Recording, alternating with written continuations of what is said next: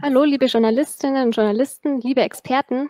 Ich begrüße Sie zu diesem virtuellen Pressbriefing des Science Media Center heute zum Thema Brain-Computer Interfaces, Hintergründe zu Forschungsstand und Praxis. Mein Name ist Sarah Sievert und ich bin hier Volontärin im Bereich Medizin und Lebenswissenschaften. Weltweit arbeiten ja Technologiekonzerne und Universitäten mit Hochdruck daran, menschliche Gehirne mit Computern zu verbinden und wollen damit ganz neue Möglichkeiten der Steuerung und Selbstoptimierung schaffen.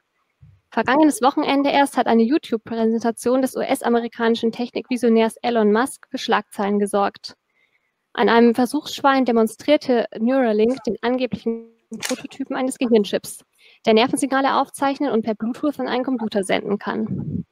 Weil es keinerlei publizierte Forschungsdaten jenseits der PR-Show gibt, wollen wir heute mit Fachleuten die Frage beantworten, ob das Unternehmen tatsächlich weiter ist als andere Forschungsgruppen, die in der Öffentlichkeit weniger präsent sind. Dazu haben wir führende Forschende aus relevanten Disziplinen der Neurowissenschaften versammelt. Wie gewohnt können Sie Ihre Fragen hier im Chat stellen. Achten Sie dabei bitte darauf, diese an alle Teilnehmer zu senden, da mein Kollege sonst keinen Zugriff darauf hat und wir sie nicht berücksichtigen können. Ansonsten möchte ich hier direkt äh, unseren ersten Wissenschaftler in der Runde begrüßen, Professor Dr. Thomas Stieglitz. Ähm, Sie sehen ihn hier ähm, links unten, ist Professor für medizinische Mikrotechnik am Institut für Mikrosystemtechnik der Albert-Ludwigs-Universität Freiburg und außerdem Projektleiter im Exzellenzcluster Brain Links Brain Tools, ähm, ebenfalls der Universität. Dort forscht er seit Jahren an der Entwicklung biokompatibler Neuroimplantate, vor allem für therapeutische Anwendungen. Herr Stieglitz, inwiefern handelt es sich bei dem Neuralink-Implantat tatsächlich um einen Fortschritt auf dem Gebiet der BCIs? Halten Sie die Aufmerksamkeit, die Neuralink aktuell erhält, für gerechtfertigt? Ich habe mir Teile dieses Videos angeguckt in Ermangelung von Forschungspublikationen und bin doch schon sehr beeindruckt, in welch kurzer Zeit Neuralink geschafft hat, als Startup-Company quasi auf den Stand der Technik zu kommen. Die Sachen scheinen sauber gemacht zu sein. Ähm, es handelt sich um polymerbasierte Dünnfilmelektroden, eine hermetische Kapselung ähm, mit Elektronik drin und ein drahtloser Link. Ähm, das ist mehr oder minder alles Stand der Technik und somit ist es glaubhaft, dass das Ganze arbeitet. Ähm, diesen Terminus Fitbit mit Drähten und wir sind jetzt ganz weit vorne, muss ich da ein bisschen auf den Boden der Tatsachen zurückholen. Es sind sicherlich einige Features, die ganz lustig sind, wie diese Beschleunigungssensoren. Ähm, der Kernbereich des ganzen Implantates ist aber guter Stand der Technik und ich glaube nicht viel mehr. Okay, ähm, noch kurz zum Nachhaken. Also Neuralink ähm, hatte ja ähm, das Implantat auf 1000 ähm, Elektroden mhm. praktisch geupgradet. Ist das denn äh, also ein großer Fortschritt im Vergleich zur bisherigen Te Technologie oder wie viele Elektroden kann man eigentlich sinnvollerweise im Gehirn von Primaten platzieren? Diese Frage nach dem sinnvoll möchte ich lieber ähm, meinen Kollegen nachher weiterreichen. Ähm, die Frage nach dem Fortschritt, da muss ich sagen, ja, das ist gut. 1000 Kanäle ähm, sind bis jetzt ähm, noch nicht so oft publiziert worden. Es gibt eine große Forschungs, äh, ein großes Forschungsprogramm in den USA von der DARPA, was auch in die Richtung Fortschritte vorantreibt. Die Frage ist immer, was ist dahinter? Also was machen die 1000 Kontakte? Ähm, Kollege Fries und ich haben auch schon ähm, mal 1024 zusammengestellt. Ähm, die Frage ist wirklich, was können die aufnehmen? wie viel kann ich davon parallel aufzeichnen und was fange ich damit an? Also ähm, big is beautiful, aber wenn ich jetzt eine Million hätte und dann ist auch die Frage, was fange ich damit an mit den Daten und wozu ist das Ganze gut? Okay, jetzt haben Sie ja schon auf Ihren Kollegen ähm, Dr. Fries, äh, Professor Dr. Fries verwiesen. Dann mache ich mit dem gleich, mal gleich weiter. Ähm, Professor Dr. Fries, ähm, hier rechts oben, ist Direktor des Ernst-Strüngemann-Instituts für Neurowissenschaften in Kooperation mit der Max-Planck-Gesellschaft in Frankfurt. Und ähm, er erforscht das Zusammenspiel neuronaler Netzwerke ähm, sowie die Verarbeitung von Informationen im Gehirn und ist außerdem noch im wissenschaftlichen Beirat des deutschen Neurotech-Unternehmens Cortec, das auch implantierbare Systeme zur therapeutischen Anwendung herstellt. Ähm, Herr Fries, mal rein aus Sicht der Grundlagenforschung, in der Sie ja tätig sind, wie schauen Sie auf das ganze PR-Theater von Neuralink? Was können BCIs aus Sicht der Fachwissenschaft denn realistischerweise überhaupt an neuronalen Aktivitäten auslesen? Also grundsätzlich äh, denke ich, dass äh, Neuralink und Elon Musk mit dieser Firma einen interessanten Ansatz verfolgen, den er auch sehr klar darstellt in seinem Eingangsstatement, nämlich dass das Gehirn eben auch ein elektrisches Organ ist, sozusagen, und dass es deshalb äh, besondere Möglichkeiten dadurch gibt, dass man mit dem Gehirn elektrisch interagiert. Sprich also, dass man eben die elektrischen Impulse misst und dass man eben auch wieder elektrisch stimuliert. Das ist ja eine Möglichkeit, die grundsätzlich schon genutzt wird in der Medizin, zum Beispiel in der tiefen Hirnstimulation, das stellt er ja da auch dar. Oder eben er stellt da dieses Utah-Array, das im Moment so ein bisschen der Stand der Technik ist bei der Ableitung mit relativ mit eben 100 Kanälen aus dem Gehirn. Und da gibt es sicherlich noch viel, viel mehr, das erreicht werden kann. Ja, es gibt ja viele Medikamente, die man einsetzt in der Behandlung von ähm, hirnbedingten Erkrankungen, aber die können eben immer im Wesentlichen nur ähm, dort angreifen, wo man bestimmte Rezeptoren modulieren kann und die sind nicht ganz genau auf den Ort und auch nicht ganz genau auf die Zeit äh, äh sozusagen spezifisch. Und da, da gibt es eine große Möglichkeit und ich denke, das ist grundsätzlich mal ein interessanter Ansatz. Mhm. Der da jetzt von, von einem, einer Firma und einem ja, wie Sie sagen, ein, einem inspirierenden Technologie-Menschen äh, wie dem Elon Musk da jetzt mit, äh, mit viel äh, Publizität natürlich vorangetrieben wird. Sie haben ja jetzt schon ähm, den Einsatz in der Medizin ein bisschen angesprochen. Da kann vielleicht auch unser dritter Experte, ähm, Professor Dr. Alireza Garabagi, ähm, was dazu sagen. Er ist ärztlicher Direktor am Institut für Neuromodulation und Neurotechnologie des Universitätsklinikums Tübingen und ist dort direkt in der klinischen Praxis tätig. Also er bietet eben auch ähm, die Anwendung von BCIs im Rahmen von Therapien an, zum Beispiel ähm, in der Rückenmarkstimulation ähm, von äh, gelähmten Patienten oder auch ähm, in der Therapie von neurodegenerativen Erkrankungen.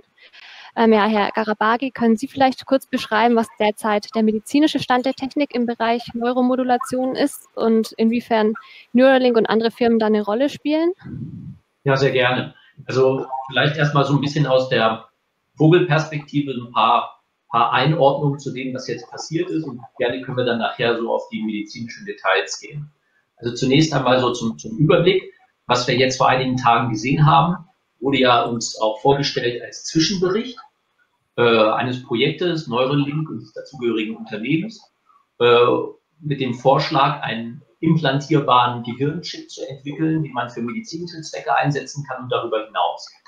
Und ähm, dieser Vortrag hat zu viel Aufmerksamkeit geführt, auch zu, zu vielen Fragen. Und ich möchte mal ähm, drei dieser Fragen aufgreifen, die auch immer wieder auftreten. Und wir können gerne danach ein bisschen ähm, ausführlicher darüber reden. Die erste Frage ist, ist dieser Medienrummel überhaupt gerechtfertigt? Die zweite Frage ist, wo stehen wir gerade, medizinisch und wissenschaftlich? Und die dritte Frage ist, äh, wo geht's hin? Was ist realistisch? Ähm, was können wir in den nächsten Jahrzehnten erwarten? Also bezüglich des Medienrummels glaube ich, ähm, dass er gerechtfertigt ist, aber aus anderen Gründen, ähm, als man meinen würde. Ähm, was der Gehirnchip wirklich leisten kann, und ob dies auch aus medizinischer Sicht ein vielversprechender Ansatz ist, kann man diskutieren, wenn mehr Informationen und auch mehr Ergebnisse vorliegen. Das war ja bisher äh, ein YouTube-Stream und äh, noch keine wissenschaftliche Publikation, die man sich genauer anschauen kann. Wichtig sind in diesem Zusammenhang aber meines Erachtens zwei andere Themen. Zum einen, äh, es gibt nach wie vor viele Menschen mit Gehirnschädigungen oder auch Erkrankungen, Hunderttausende alleine in Deutschland, für die es bisher keine sinnvolle Therapie gibt. Und das in Zeiten, wo, wo wir planen, auf dem Mars zu fliegen. Also das ist tatsächlich ähm, ein Thema, das Aufmerksamkeit verlangt. Wir haben hier also ein wichtiges, ungelöstes Problem, das mehr Aufmerksamkeit benötigt und auch intensiv zusammen angegangen werden muss. Und ein anderes wichtiges Thema ist in diesem Zusammenhang, ähm, ist Neurotechnologie ein möglicher Weg, äh, zumindest einige dieser Erkrankungen und Handicaps sinnvoll anzugehen. Ähm, und zwar noch in unserer Generation. Ähm, dafür muss dieses Thema viel mehr in den Fokus kommen. Braucht also Investitionen, smarte Konzepte und kluge Köpfe. Und äh, wenn dieser aktuelle Medienrummel dazu beiträgt, dann ähm, werden wir uns alle dessen bewusster und dann sind wir auch auf dem äh, richtigen Weg und dann ist es auch richtig und gut, wenn es da Rummel gibt. Darf ich da vielleicht nochmal kurz einhaken? Ähm, Sie äh, sagen ja, also ähm, und begründen das auch sinnvoll, dass Sie den Medienrummel für gerechtfertigt halten.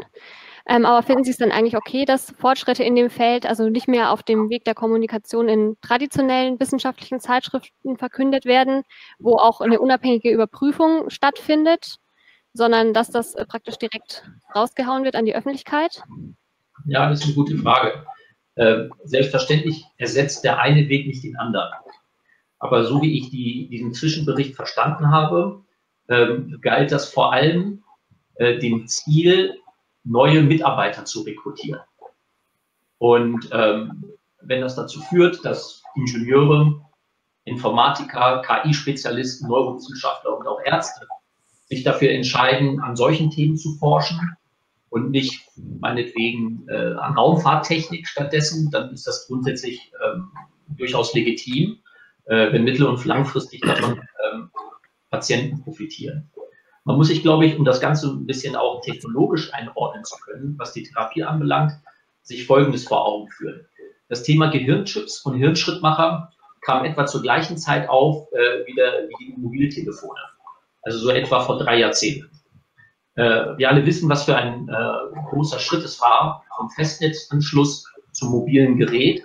Auch äh, wenn dieses zunächst einmal so aussah wie ein Ziegelstein und ähm, auch nicht in der Funktionalität verglichen werden kann mit den Geräten, die wir heute haben. Die Hirnschrittmacher, äh, die wir heute in der klinischen Praxis einsetzen, haben bereits mehr als 100.000 Patienten zum Beispiel mit Parkinson geholfen und äh, ihre Lebensqualität auch dadurch meist äh, deutlich verbessert. Technisch gesehen sind sie aber immer noch auf dem Stand von vor mehreren Jahrzehnten, also auf dem Stand der Mobiltelefone, die aussehen wie ein Ziegelstein und noch nicht viel können. Deswegen brauchen wir dringend moderne Neurotechnologien, um auch anderen Patienten zum Beispiel nach Lähmungen, nach einem Schlaganfall helfen zu können. Äh, jedes Unternehmen, äh, das sich damit beschäftigt, leistet also einen wichtigen Beitrag. Dabei darf man aber nicht vergessen, dass es sich äh, bei dieser Neurotechnologie um die reinen Werkzeuge handelt. Äh, vergleichbar einem Skalpell oder einer Pinzette, die wir nutzen, um zum Beispiel am Gehirn zu operieren. Das Skalpell an sich heilt noch keinen Patienten. Dazu braucht es neuromedizinisches Wissen und chirurgisches Know-how. Um mit Neurotechnologie sinnvoll helfen zu können, brauchen wir also neben smarten Ingenieurinnen und Informatikern auch kluge Wissenschaftlerinnen und Ärzte. Innovative Neurotechnologie ist also eine notwendige, aber noch keine hinreichende Voraussetzung, um richtig helfen zu können. Okay, ja, wie gesagt, die Technik an sich ist ja ähm, nicht neu, wie Sie ja selber jetzt auch gesagt haben. Ähm, passend dazu erreicht uns hier äh, auch die Frage eines Journalisten. Ähm, sehen Sie denn die eigentliche Innovation von Neuralink möglicherweise darin, dass der Chip per Roboter implantiert wird? Also Neuralink demonstriert ja diesen OP-Roboter, der das ähm, in, in, weniger als einer Stunde implantieren kann und dabei äh, das Infektionsrisiko möglicherweise geringer ist? Also, mal vielleicht auch an den Techniker oder an den. Ja, ja, ich würde da gerne mal einsteigen. Ähm, das ist sicherlich das. Die offensichtlichste Innovation in der ganzen Pressemeldung. Dieser coole Roboter, der alles macht. Ähm, ich möchte aber auf, auf die Aussage vom, vom Kollegen Garabagi zurückgehen. Ähm, das, was in der Klinik im Moment verwendet wird, ist ein Ziegelstein. Ja, also ich nenne jetzt die, die skandinavische Firma nicht, die diese Ziegelsteine gemacht hat.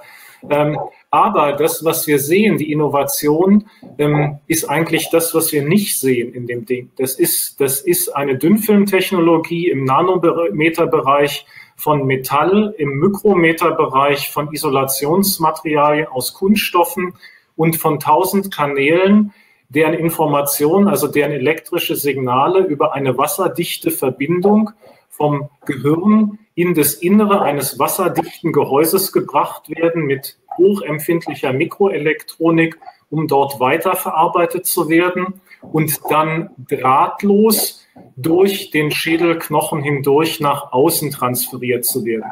Natürlich ist die Signalaufnahme nicht drahtlos vom Nerven ähm, durch ein wundersames Medion in den Chip, aber wir haben hier keine Kabel mehr. Und wenn Sie gucken beim Utah Array, gehen noch 100 Kabel durch die Haut. Viele andere klinische Anwendungen wären zeitlich eingeschränkt und auch in der Komplexität der Kanäle eingeschränkt, weil wir dicke Kabel haben. Und diese Kabel hier sind um ein Vielfaches kleiner, ein einzelnes, als der Durchmesser eines menschlichen Haars. Von daher nochmal die Aussage, die Innovation und zu zeigen, das ist stabil, das ist über Monate stabil und wir testen das, dass es auch dann ähm, über Jahre und Jahrzehnte stabil wird, diese miniaturisierten Systeme. Das ist in der Tat eine, eine große Innovation, die das ganze Feld auch voranbringen kann. Und die Frage, ob das publiziert werden kann, ist natürlich eine sehr spannende Frage. Wir erwarten, glaube ich, auch nicht, dass Daimler-Benz publiziert, wenn sie eine neue S-Klasse rausbringen in Nature oder Science, sondern wir erwarten, dass das Ding funktioniert. Das mag jetzt ein bisschen komisch klingen von jemand, der solche Technik entwickelt. Auch da möchte ich zurückwerfen auf einen Kommentar von, von Ali Reza Garabagi. Was wichtig ist, das ist hinterher, dass das Studiendesign und die Anwendung der Werkzeuge, dass das sauber publiziert wird. Die Entwicklung, Herr Musk steckt da dreistellige Millionensummen rein, ist sehr verständlich, dass er vielleicht den Vorsprung durch die Investition auch ein bisschen bei sich halten möchte. Und das ist sicherlich ein Punkt, in dem wir alle genau gucken müssen. Wie werden die Ergebnisse in der Anwendung hinterher publiziert? Ist das sauber? Ist das offen? Und kann die wissenschaftliche Gemeinschaft das auch nachverfolgen? Ich wollte auch vielleicht noch mal ganz kurz kommentieren. Sie fragten ja, wo liegt hier die Hauptinnovation. Und ich glaube, wir sind uns einig hier, äh, soweit ich sehen kann, ist jetzt keine der, der eigentlichen Technologien, die hier jetzt zum Einsatz kommt, revolutionär. Ja, also diese Dünnfilm-Technologie, die wird zum Beispiel von Herrn Stieglitz in, in Freiburg seit vielen Jahren äh, weltweit führend betrieben. Das machen auch andere in den, in den USA in manchen Laboren. Das ist natürlich das ist wirklich Hightech, aber äh, da, da gibt es auch andere Top-Labore, die das können, zum Beispiel das von den Stieglitz. Die, die ASIC-Chips, die da entwickelt werden, ich nehme an, das ist grundsätzlich mal Standard-Chip-Design. Natürlich haben die das sehr schnell, sehr gut gemacht. Ähm, äh, die Übertragung, die Wireless-Übertragung, ja, das ist sozusagen auch, das, das ist State of the Art. Aber ich denke, was man hier, und der Roboter, gut, ja, das ist sicherlich innovativ, aber zum Beispiel arbeiten wir hier in meiner Abteilung an ganz ähnlichen Sachen. Ähm, ich denke, was hier bemerkenswert ist, ist, dass man hier, wenn ich dem Video richtig entnommen habe, 100 Leute zusammengebracht hat an einem Ort, in einer Firma und sich dieses eine Ziel vorgenommen hat, in möglichst kurzer Zeit diese Vision zu realisieren, die einfach gegeben ist dadurch, dass diese Technologien da sind. Das ist ja gerade eine wichtige wichtige, wichtige Einsicht, dass man sagt, wir müssen hier nicht irgendeine magische neue Empfindung machen, sondern die Technologien sind da, es gibt eine Möglichkeit, sie einzusetzen, aber um das dann wirklich zu tun, um diesen Hebel umzulegen, sind ja nochmal Jahre nötig und Millionen, die da hineinfließen, um das dann zu einer Therapie zu machen. Und das haben die sich offensichtlich vorgenommen. Und ich denke, darin liegt die Innovation. Das ist, um, um bei den Beispielen mit den Smart oder Handys und Smartphones zu bleiben. Ich denke, die Technologie für äh, Smartphones, die hat es wahrscheinlich lange vor dem ersten Smartphone gegeben. Aber das zu sehen, dass da diese Möglichkeit dann existiert, damit diese Funktionalität zu erreichen und es zu machen, zu bauen und verfügbar zu machen, ja, das ist dann halt eben nochmal ein großer Schritt. Und so, so erscheint es mir hier eben auch. Dann kurz dazu, wenn äh, die Daten dazu erstmal nicht äh, veröffentlicht werden sollen, wie stellen wir denn eigentlich sicher, dass die Technik sicher in der Anwendung beim Menschen ist? Also welche Kriterien sind da an die klinisch relevante BCI-Technik anzulegen? Wie läuft ähm, die Qualitätskontrolle in so einem Fall wie bei Neuralink? Ich meine, das hat Herr Musk auch, auch erwähnt, sowohl auf einer Folie als auch in, in, in, einer, in einem Satz. Ähm, Sie müssen in dem Land, in dem Sie klinische Studien betreiben wollen, zu der entsprechenden ähm, gesetzgebenden Stelle gehen. Das ist in den USA die FDA, die Food and Drug Association, und in einem, in, in einem äh, vertraulichen Kontrakt zwischen der Firma und der benannten, der gesetzgebenden Stelle dort, ähm, der Legal Authority, wird die Sicherheit geprüft. In Europa ist es das CE-Zeichen mit den benannten Stellen. Ich möchte jetzt nicht in die Diskussion gehen, was besser ist, welche, welche Art des Vorgehens, aber da würden die sogenannten grundlegenden Anforderungen, also die, die grundlegenden Sicherheitsfeatures untersucht Und üblicherweise muss man dann in der ersten Studie angeben, was ist der bestimmungsgemäße Gebrauch, also wofür möchte ich das machen. Und dann gibt es entsprechende Regularien, wie ich nachweisen muss, dass bestimmte Sachen sichergestellt sind. Das kann sein, dass ich keinen elektrischen Schock kriege, wenn ich nicht möchte, dass mein Implantat von der Fremdkörperabwehr des Körpers nicht aufgegessen wird, dass keine giftigen Stoffe rauskommen, ähm, dass ich keine Wechselwirkung habe mit elektromagnetischen Feldern vom Radio, vom Smartphone, von was mir gerade so einfällt. Das muss dann festgelegt werden. Ähm, es ist eine sehr, sehr lange Liste und so wie ich es verstanden habe, will Neuralink ähm, durch den großen möglichen Impact, den sie versprechen auf unterschiedliche ähm, Krankheitsbilder, versuchen da quasi ein Fast Track, also eine schnelle Möglichkeit zu bekommen, in die ersten Studien am Menschen eintreten zu können. Das sind dann Regularien, die in den USA entsprechend der Regeln da gehen. Ähm, da kann ich Ihnen jetzt nicht im Detail sagen, wodurch sich dieser Fast Track von, von anderen Wegen unterscheidet. Okay, und dann vielleicht nochmal ganz kurz dazu, falls Ihnen das auch bekannt ist, ist denn eigentlich bekannt, ob in, und mit welchen akademischen Forschern Neuralink zusammenarbeitet oder inwiefern sich die Firma mit der Fachwelt vernetzt? Soweit mir das bekannt ist, ist das eine rein privatwirtschaftliche Unternehmung von Elon Musk soweit. Das heißt, es werden, es werden die Fachleute, die ich brauche, von anderen Stellen abgeworben und dort eingestellt. Ähm, und soweit mir bekannt ist, ist auch keine öffentliche Förderung, egal von welchem Fördergeber im Spiel, sondern die intellektuellen Rechte sind allein ähm, auf das Unternehmen konzentriert. Okay. Ja, wir haben ja jetzt recht viel zum Unternehmen Neuralink gesprochen. Ähm, vielleicht nochmal eine konkrete Frage an alle, um jetzt zum Forschungsstand zu kommen. Ähm, was können BCIs denn heute schon konkret und was ist in den nächsten fünf Jahren Ihrer Einschätzung nach zu erwarten? Ja, ich kann mal dazu was sagen. Also mit, mit Brain-Computer-Interfaces äh, kann man heute natürlich schon viel aus dem Gehirn auslesen. Also was beispielsweise schon viel gemacht wurde, sind Arbeiten mit äh, Rhesusaffen. Äh, wenn man dort beispielsweise 100 Ableitekanäle ähm, in den Motorkortex einbringt, äh, dann kann man beispielsweise äh, die Stellung des Armes sehr genau dekodieren und kann dann zum Beispiel das ersetzen durch einen Roboterarm, kann dann einen Roboterarm steuern. Was Neuralink hier sich vorgenommen hat, ist, äh, denke ich, zweierlei. Die Anzahl der Kanäle zu erhöhen und äh, den Schaden, den man dabei am Gehirn verursacht, zu vermindern äh, indem man ganz, ganz dünne, flexible äh, Folien einbringt, äh, die auf jedem Folienstreifen mehrere Kontaktpunkte haben, sodass äh, der primäre Schaden beim Einbringen einfach schon klein ist und auch der Langzeitschaden. Und natürlich ist es so, je mehr äh, Kontaktstellen man zu, zum Gehirn hat, desto besser kann man das Gehirn auslesen. Ja. Äh, ich denke, ganz wichtig ist, ich denke, die Frage steht dann im Raum, kann man das Gehirn auslesen? Ja. Und die Antwort darauf ist, dass es keine Schwarz-Weiß-Antwort ist. Ja, also wenn man zum Beispiel von geeigneten Stellen im Gehirn ableitet, äh, kann man heute schon sehr gut sagen, ob beispielsweise ein Mensch sich das eine Bild vorstellt oder das andere Bild. Aber das ist eine Entscheidung zwischen zwei Möglichkeiten. Ja, diese, diese Sache kann man nahezu hundertprozentig entscheiden mit diesen Ableitungen, ohne dass er einem das sagt.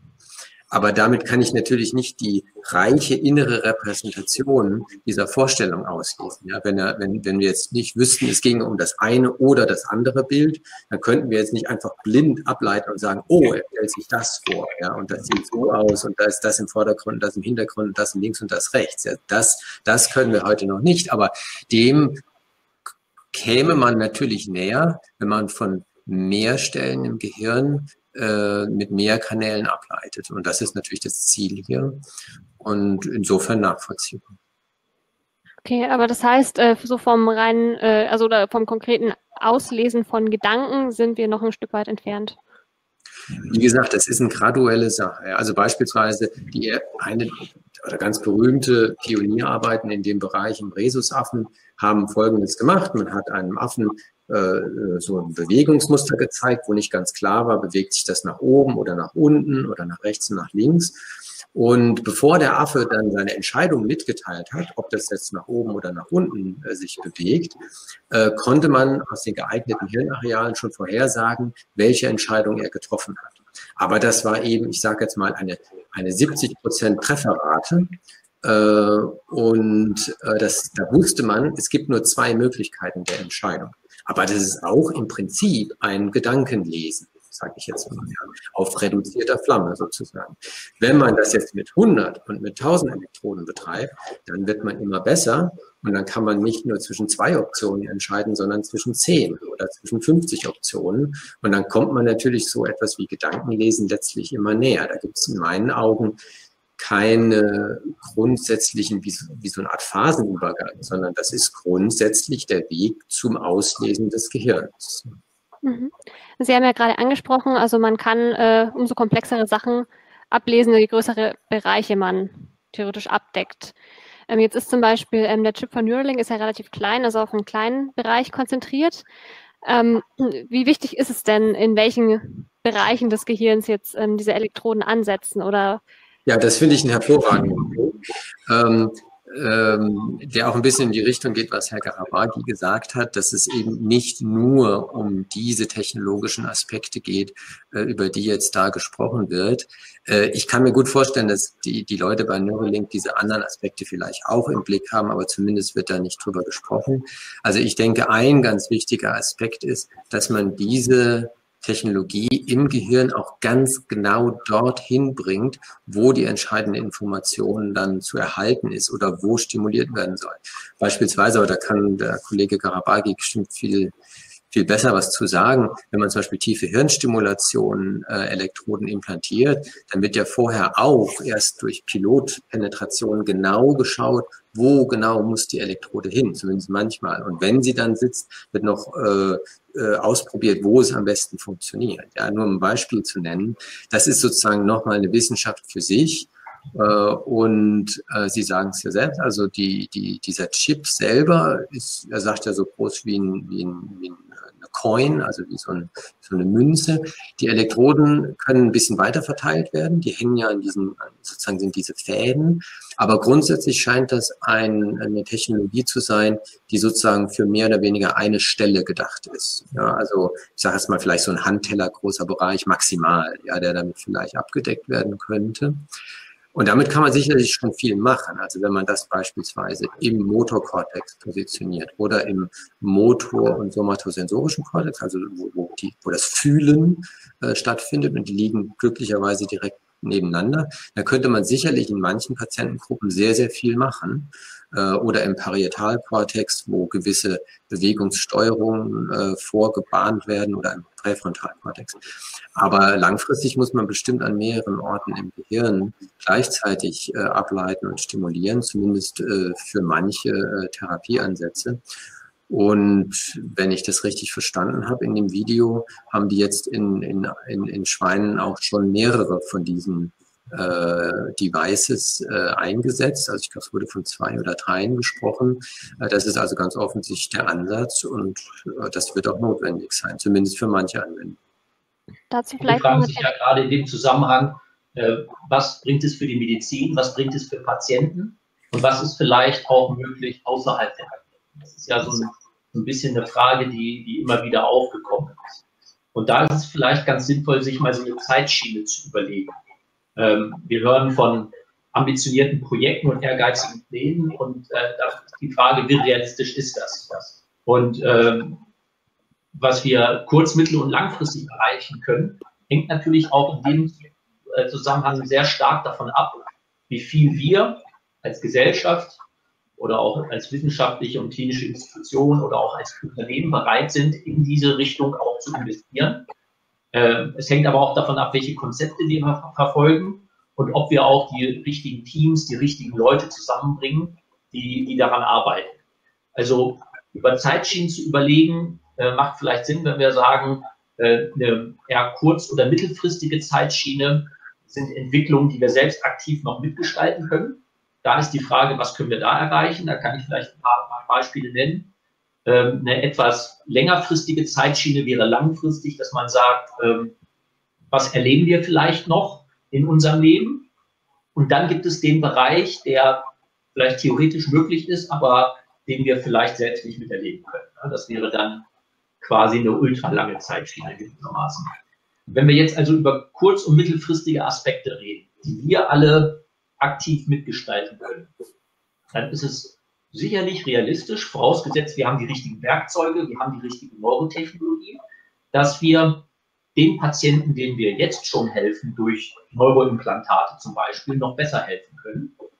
Und es ist auch wahrscheinlich, dass wir Patienten, denen wir bisher noch nicht helfen können, durch intelligente Neuroimplantate, die eben technisch so ausgefeilt sind, wie wir das brauchen, ähm, auch denen helfen können. Vielleicht Patienten, die zum Beispiel nach einem Unfall oder einem Schlaganfall den Arm nicht mehr bewegen können oder nicht mehr laufen können.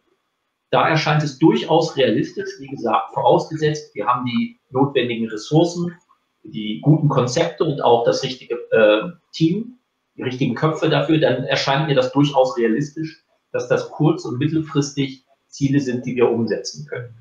Entscheidend ist aber in dem Zusammenhang, wie das jetzt schon angedeutet ist, welche Konzepte wir dabei. Wollen wir eher ähm, das Gehirn auslesen und über das Gehirn Geräte ansteuern?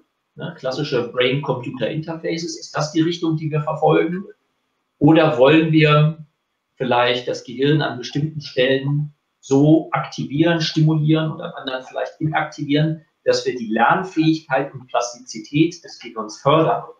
Das ist vielleicht auch ein Ansatz, der vielversprechender ist, dass man dem Gehirn sozusagen die Möglichkeit gibt, selbst sich zu erholen, selbst zu lernen, aber durch Technologie diesen Prozess etwas gerichteter äh, ablaufen lässt, stärker unterstützt. Und das sind alles Themen, die wichtig und sinnvoll sind und auch hier nochmal betont, es kommt auf die Technologie einerseits an, aber es kommt auch genauso auf die wissenschaftlichen Erkenntnisse an, auf die Ärzte, Mediziner, die dort mitwirken. Wir brauchen da tatsächlich ein interdisziplinäres Team und äh, vielleicht im Gegensatz zu früheren Zeiten von vor Jahrzehnten mehr Ingenieure und Informatiker als früher, aber in gleicher Weise auch Neurowissenschaftler oder Mediziner.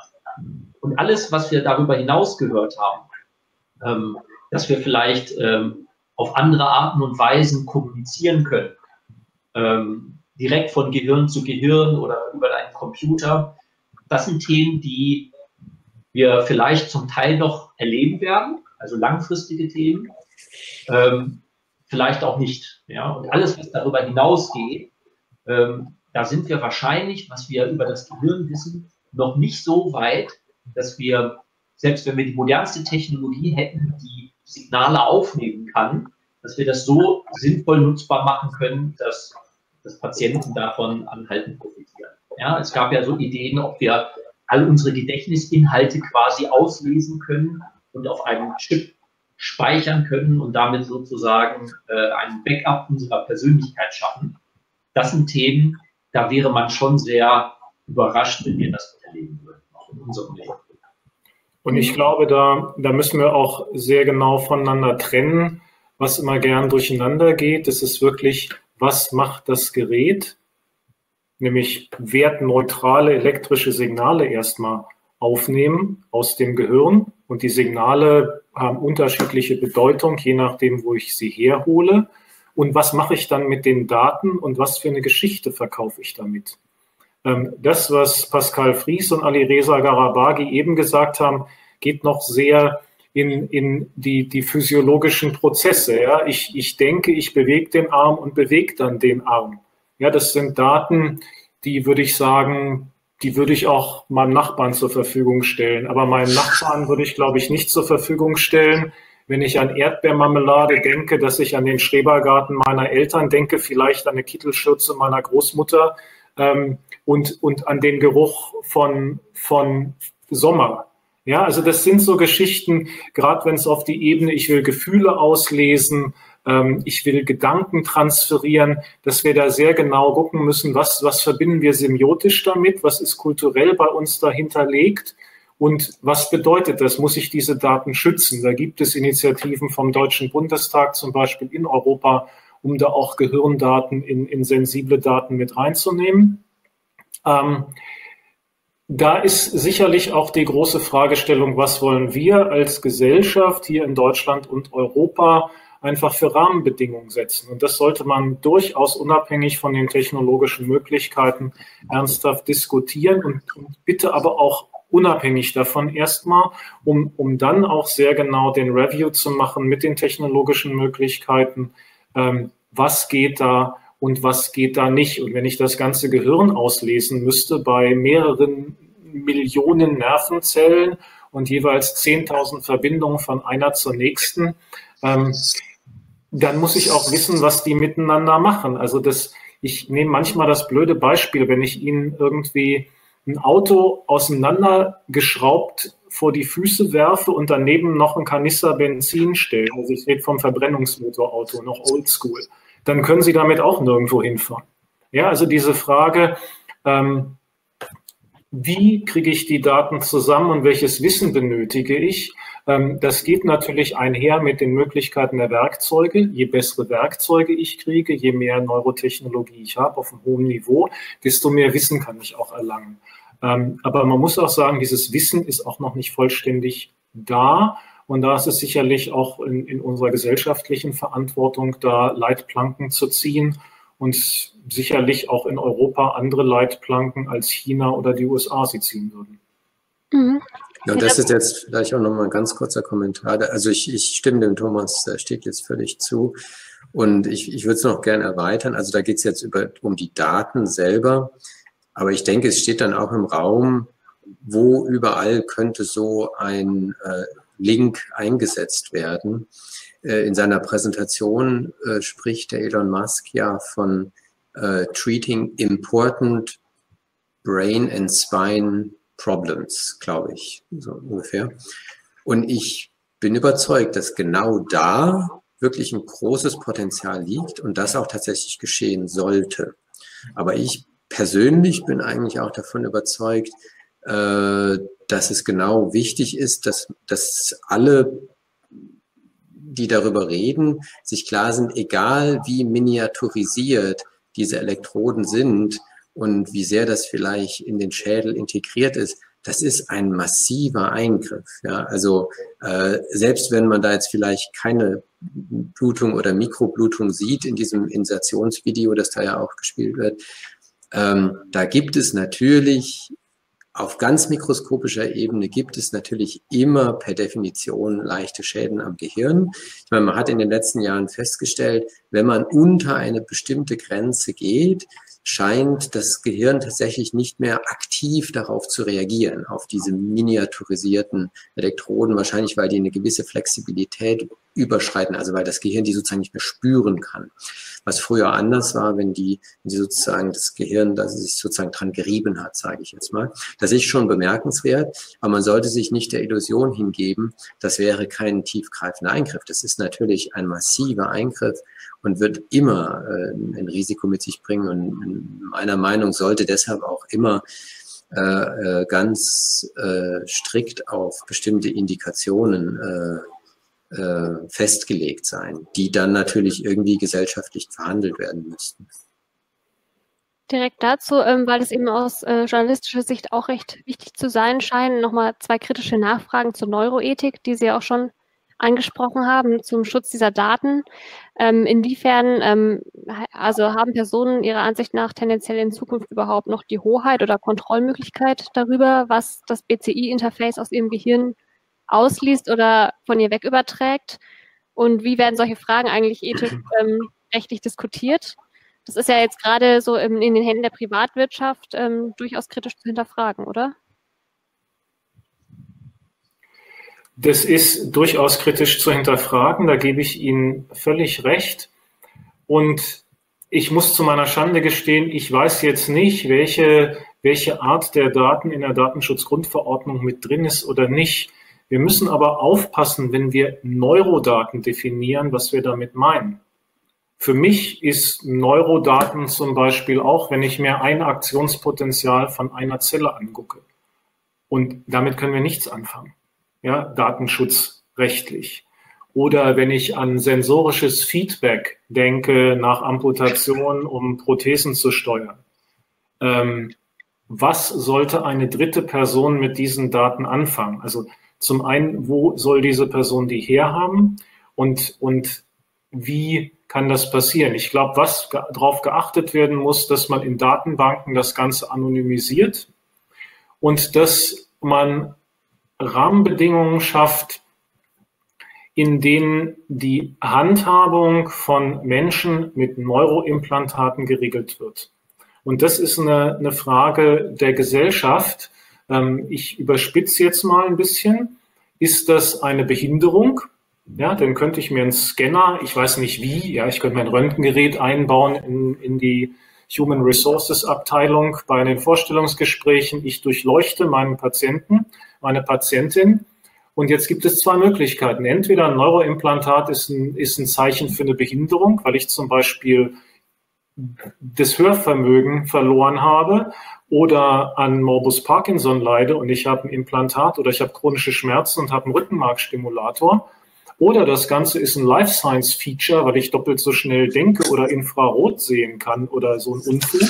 Ähm, Sie sehen schon meine Wertung. Ähm, und dann wäre es eher ein Einstellungshemmnis, wenn ich diese Person nicht nehme, weil sie natürlich ähm, enhanced ist und augmented. Aber das ist ähm, eine Frage, die wir auf gesellschaftlicher Ebene diskutieren müssen. Und da wird es nicht besser, wenn wir irgendwie die Privatwirtschaft immer so ein bisschen in eine Schmuddelecke stellen was ganz oft passiert. Das ist privatwirtschaftlich, das ist irgendwie ein bisschen fui. Natürlich haben wir da Sachen gesehen, sei es der Dieselskandal, ähm, sei es Gammelfleisch, aber da gehören auch immer zwei Leute dazu. Jemand, der glaubt, dass man für 1,99 Euro ethisch korrektes Schweinefleisch kaufen kann ähm, pro Kilo und die andere Seite, die das herstellt. Und ich denke, das ist eine Sache, ähm, wo wir weder mit dem Finger auf die Wissenschaft noch mit dem Finger auf die Privatwirtschaft ähm, zeigen sollten, sondern eher auf uns selber, was wir damit machen und wie wir da in den Diskurs reingehen. Und konkret, welche Neurodaten sollten dann geschützt werden und unter die hochsensiblen Daten laut DSGVO fallen Ihrer Meinung nach? Gibt es da bestimmte Bereiche, die Sie eher für schützenswert halten oder die besonders sensibel sind? Also bei den gegenwärtigen Implantaten fällt es mir schwer, ähm, solchen Datensatz zu sehen, weil eigentlich meines Wissens diese Datensätze im Moment noch gar nirgendwo gespeichert werden und noch nirgendwo verfügbar sind. Das ist ja auch der Charme ähm, derjenigen Implantate, die mit einer drahtlosen induktiven Schnittstelle versorgt sind, dass die nämlich nur über ein paar Zentimeter über die Haut hinweg geht. Wenn ich jetzt Freifeld funke, ähm, wie ein Handy, dann habe ich natürlich auch die Möglichkeit, dass mich, dass sich einer eher einhacken kann.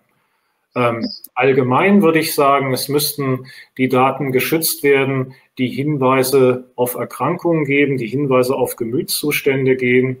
Ähm, und wir sollten da gucken, dass ähm, es einfach gute Rahmenrichtlinien gibt, die nicht ähm, an dem Willen und dem Finanzbedürfnis einzelner Personen hängen, auch nicht der Patienten.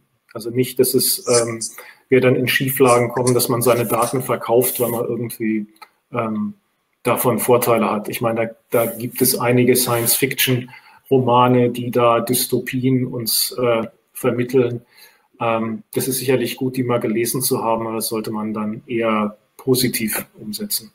Vielleicht eine ganz konkrete äh, Überlegung, die wir hier anstellen können. Wir sehen das ja am, am Thema Digitalisierung und Internet dort beobachten wir ja, diese ganzen Diskussionen rühren ja ein bisschen daher, äh, was passieren kann, wenn wir hier in Europa oder auch in Deutschland in bestimmten Bereichen, sei es nun im digitalen Bereich, in den verschiedenen äh, Internetanbietern, aber auch in anderen Gebieten, nicht selbst in der Lage sind, kritische Technologie zur Verfügung zu stellen.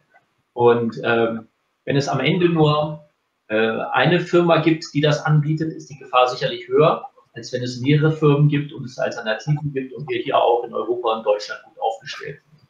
Und das ist übrigens auch einer der Faktoren, warum die Entwicklung der bisherigen Hirnschrittmacher in den letzten drei Jahrzehnten ähm, ähm, nicht so war, wie wir uns das erhofft und gewünscht haben. weil es eben einfach nicht diese Konkurrenz gab, die wir in den letzten Jahrzehnten beobachtet haben im Feld der äh, mobilen Telefone, ne, um das direkte Beispiel zu nehmen. Also in dem Zusammenhang, je mehr äh, wir uns Sorgen machen um solche, solche, Themen, desto wichtiger ist es, dass wir selbst auch bei uns hier ähm, solche Themen mitgestalten, in der Richtung forschen, auch äh, Unternehmungen gründen oder unterstützen, die sich auf dem Gebiet ähm, äh, beschäftigen, damit wir dort mittel- und langfristig auch unsere eigenen Regeln aufstellen können und unseren eigenen Standards folgen können. Mhm. Jetzt nochmal ein bisschen äh, weg vom Thema ähm, der Ethik, sondern also mehr zu den konkreten Anwendungen oder was potenziell möglich ist, weil uns hier noch ein paar äh, drängende Fragen erreichen. Also jetzt nochmal an Sie, Herr Fries. Ähm, wird man dann mit dieser neuartigen BCI-Technologie auch in tiefe Bereiche des Gehirns vorstoßen können und äh, zum Beispiel auch neurologische Prozesse, die von der Amygdala gesteuert werden, ähm, beeinflussen können? Also ist es zum Beispiel möglich, Gefühle zu steuern? Also die Antwort darauf ist, äh, da bin ich mir recht sicher, dass die langfristig ja lautet. Äh, also rein technisch ist es ja so, dass auch schon jetzt gerade die tiefe Hirnstimulation, wie der Name ja schon sagt, äh, tiefe Strukturen im Gehirn angeht, sehr erfolgreich bei Parkinson. Äh, in den letzten Jahren werden ja ähnliche Technologien mehr experimentell auch äh, eingesetzt im Bereich von äh, schwersten Zwangserkrankungen, also äh, Zwangsstörungen, äh, Obsessive Compulsive Disorder oder äh, schwere, schwerste Depressionen, ähm, äh, teilweise mit Erfolg. Und ähm, rein von der Technologie her, die Technologie, die da von Neuralink vorgestellt wird, die ist grundsätzlich äh, in der Lage, auch tiefe Strukturen anzugehen. Ähm, ich glaube, das wird auch kurz angesprochen in der, in der Question and Answer Session. Äh, wenn ich das richtig äh, in Erinnerung habe, wird darauf geantwortet, dass es im Moment nicht der Fall ist bei dem jetzigen Stand, den sie haben, aber dass sie darauf hinarbeiten. Und soweit ich das sehe, ist das von dem, von dem von den Technologien, die da zum Einsatz kommen, grundsätzlich kein Problem. Und dazu gehört dann natürlich zum Beispiel auch als eine der wichtigen tiefen Hirnstrukturen die Amygdala, die eine wesentliche Rolle spielt in, in, in der Emotionsregulation der Empfindung von Emotionen. Und die, also ich denke, dass das sicherlich ein, ein äh, Zielort sein könnte von zusatz, äh, zu, zukünftiger äh, Intervention, sicherlich. Ja. Okay. Dann äh, hätte ich jetzt noch äh, schnell zwei Fragen, weil die Zeit ein bisschen drängt. Deshalb mit der Bitte um kurze Antworten. Zunächst einmal, ähm, Elon Musk träumt ja auch von Anwendungen jenseits der Medizin. Ähm, also könnte ein Hirnchip theoretisch auch mal das Smartphone ersetzen. Äh, was meinen Sie dazu? Also ich hatte es vorhin schon mal versucht zum Ausdruck zu bringen. Also ich sehe das als eine gute und wichtige Ansatz, das in, in, für Teile der Medizin zum Nutzen zu bringen. Ich sehe das persönlich sehr skeptisch, wenn man über Einsätze im Bereich Enhancement, Gaming, Smartphone und so weiter spricht. Äh, das ist meine persönliche Meinung. Also es werden Leute machen, aber sinnvoller achte ich das nicht. Gerade bei einer, Erfolg, bei einer Erfolgsrate von 70 bis 80 Prozent.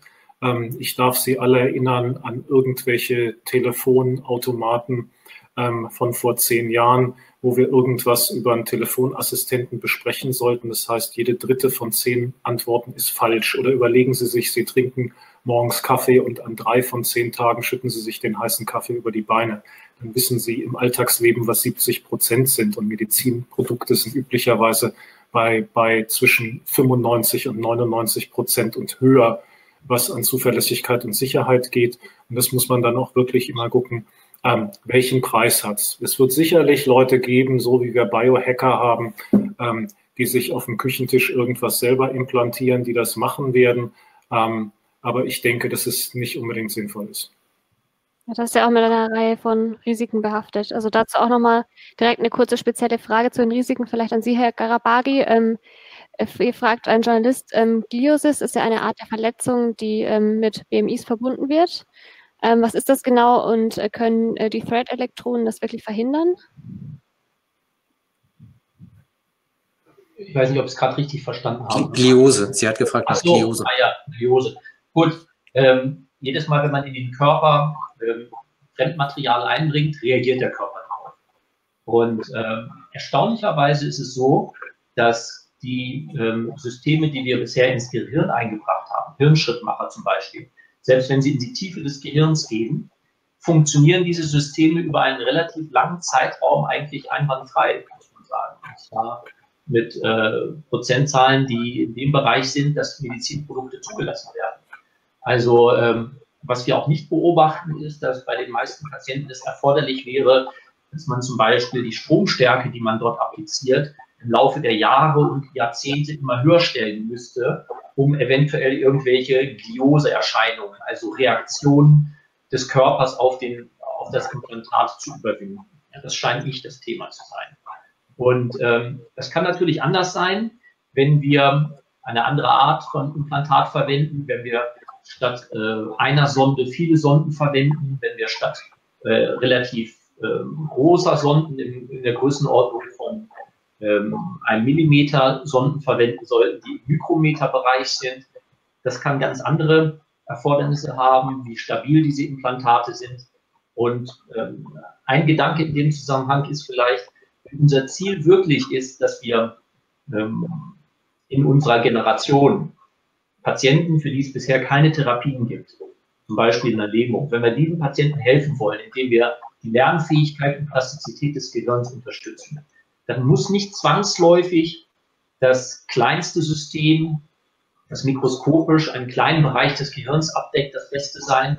Es müssen vielleicht nicht zwangsläufig Tausende oder mehr Kontakte und Elektroden sein, die man dort einsetzt, sondern manchmal reicht es auch, wenn man einfach intelligente Systeme hat, und die haben wir in dem Sinne bisher, zumindest im klinischen Einsatz leider noch nicht, die in der Lage sind, vielleicht an ein, zwei, drei, vier oder meinetwegen zehn Stellen im Gehirn intelligent, das heißt zum richtigen Zeitpunkt auf die richtige Art und Weise das Gehirn zu unterstützen und es dabei auch dahin zu bringen, dass es sich erholt von einem Unfall zum Beispiel oder einem Schlaganfall.